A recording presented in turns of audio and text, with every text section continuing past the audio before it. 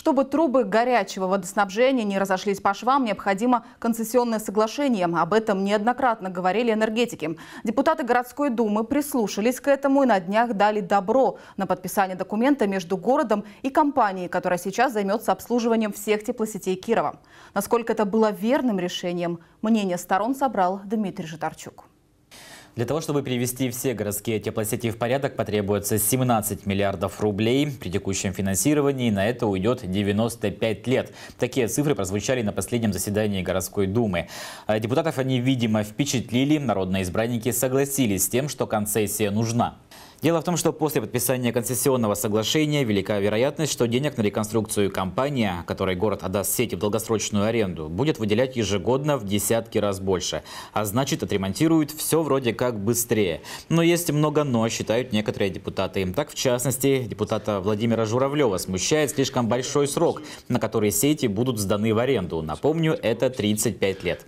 Есть у губернатора два срока по 5 лет. Пусть губернатор, он, кстати, тоже является вот стороной этого гарантом этого договора на 10 лет заключает. Мы предлагали 10 лет с возможностью потом пролонгации. Вот для меня, как для юриста, нет э, разницы. Или сразу 35 лет, да, это законодательно возможно. Или, условно говоря, три раза по 10 лет плюс 5 лет.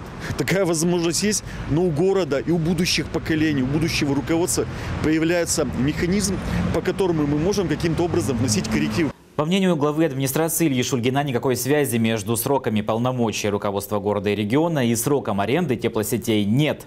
Более того, есть соглашение уже действующее, когда земли либо недвижимость сдаются в аренду и на 60, и на 90 лет. То есть это нормальный обкатный механизм, причем этим механизмом мы пользуемся уже на протяжении там, более 20 лет.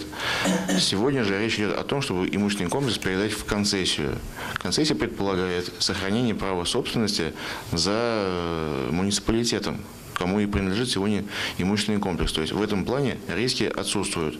Э, более того, все неотъемлемые улучшения системы также принадлежат с момента их произведения и подписания акта о произведенных улучшениях принадлежат также городу. А старший по дому Валерий Семенищев и вовсе произвел свои расчеты и ссылается на данные администрации. Мол, в рамках концессии удастся привлекать на ремонт до 600 миллионов в год. Но эти деньги город может изыскать уже сейчас самостоятельно и без всяких соглашений, считает старший по дому.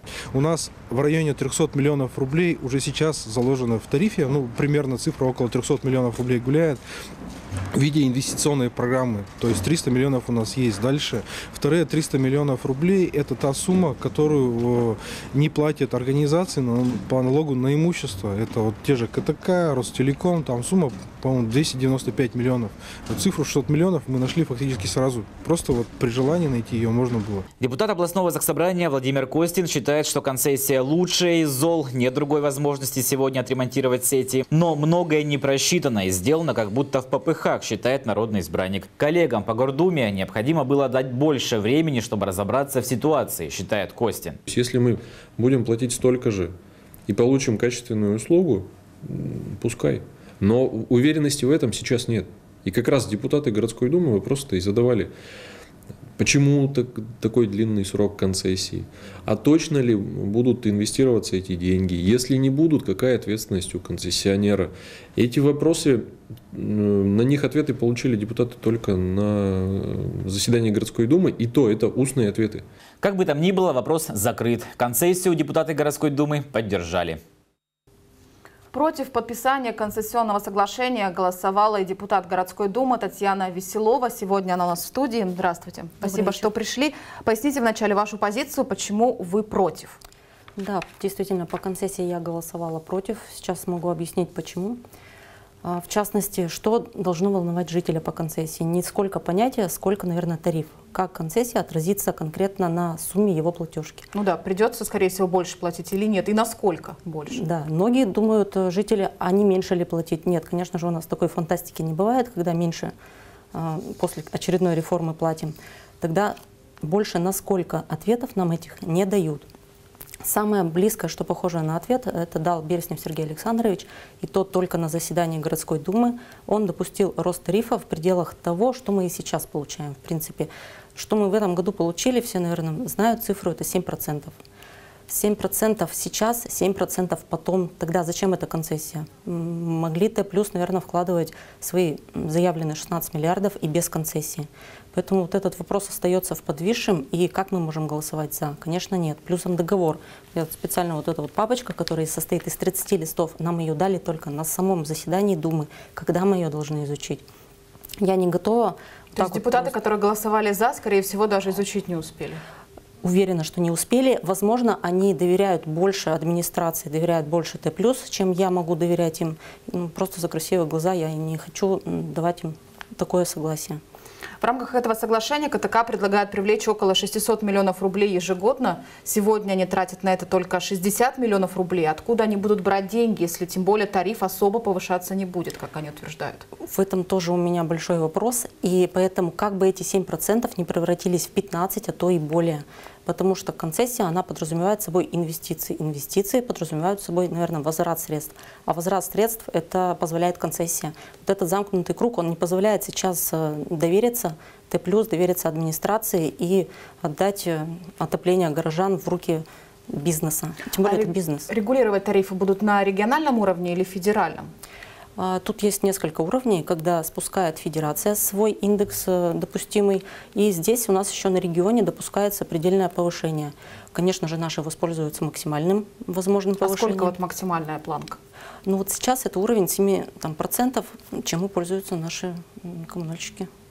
Они защищают свой тариф, а концессия, а, насколько вот я ее поняла, насколько я успела в ней разобраться, она подразумевает возврат вложенных средств. Они защищают, Т плюс будет защищать свой тариф э, в РСТ, а РСТ будет опираться на то, что концессия позволяет им вернуть средства за счет тарифа. То есть опять за все заплатим мы, горожане. Что вы тогда предлагаете? Мы предлагаем Ну, сеть действительно старая, ей нужно заниматься. Какой тогда другой выход? Ну, а нам и других никаких вариантов не дают. Мы вообще предлагаем сейчас, оставьте вы расходы горожан в покое, не повышайте. Мы всегда выступаем за мораторий на расходы, на э, тарифы. И займитесь доходами. У нас доходы горожан катастрофически падают ежегодно. Так бы они стабильно росли, как расходы, наверное, вопросов бы не возникало. У нас э, в следующем году платежка за мусор придет даже на младенца. Двухмесячный ребенок будет платить за мусор 130 рублей, а хотя когда последний раз детские пособия увеличивались, я не помню. Сегодня в нашей группе ВКонтакте мы провели опрос, решили спросить мнение зрителей, как они относятся к тому, что теплосети Кирова передадут э, э, на 35 лет. Было три варианта ответа. Я против, так как плата за отопление в очередной раз повысится. Так проголосовали 70%, это большинство. На втором э, месте вариант ответа считаю это необходимым решением. Только так можно привести теплосети в порядок. 17% голосов. И концессия нужна, но не на такой длительный срок, 13%. Но все-таки вот судя по опросу, большинство против, потому что боятся, что повысится именно тариф. Оснований полагать, э, что не будет того, что прописано в договоре, конечно же, есть у жителей. Как у нас исполняется этот ЖК-ремонт, когда у нас или ремонта не видят, либо видят э, через два года обещанного срока, и качество их страдает. А вы общались с теми депутатами, кто проголосовал за? Чем они это объясняют? Они об- объясняют это тем, что нет других вариантов. Но нам не другие варианты и не предлагали. Ну, в принципе, в договоре, вот, который нам предлагает концессионное соглашение, он может хоть на 35, хоть на 50, хоть на 100. Ну, должна быть уверенность в сохранении тарифа. Желательно То вообще без повышения. какие-то гарантии? Конечно. И если будь сто раз договор подписан, написан правильно, а, в пользу жителей, но контроль об- обязателен. Поэтому наше предложение по общественному контролю Илья Вячеславович Шульгин принял. Мы этим воспользуемся предложением и согласием. И тоже пользуясь случаем, обращаюсь к общественникам, чтобы они приняли это же а, предложение и бы участвовали что в подписании соглашения, перечитав все договоры до его подписания, и в последующем при вложении инвестиций. Трубы ли нам там закапывают или бумагу? Что мы получим через 30 лет? Спасибо, что сегодня ответили на наши вопросы. Напомню, у нас в гостях была Татьяна Веселова, депутат городской думы. Спасибо. Всего